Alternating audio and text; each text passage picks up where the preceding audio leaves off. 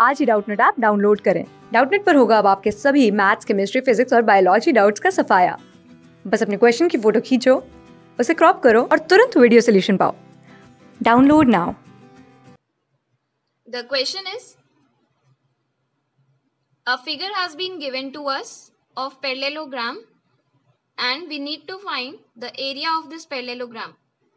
So let us start solving this question. Area of parallelogram is given by the formula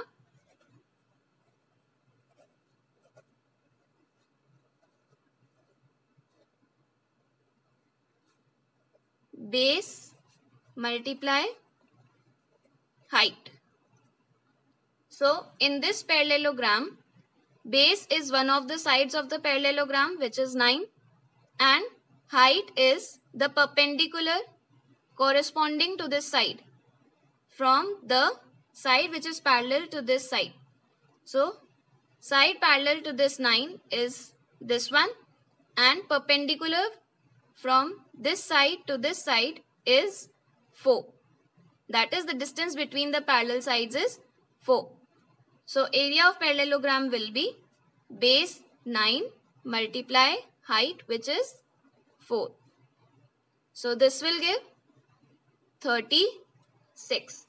So, area of parallelogram is 36 unit square.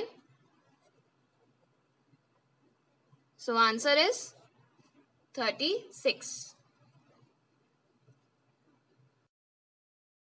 Class six से twelfth से लेके NEET I I T JEE mains और advance के level तक, दस million से ज़्यादा students का भरोसा आज ही डाउनलोड करें डाउट नेट ऐप या व्हाट्सअप कीजिए अपने डाउट्स आठ चार सौ चार सौ चार सौ पर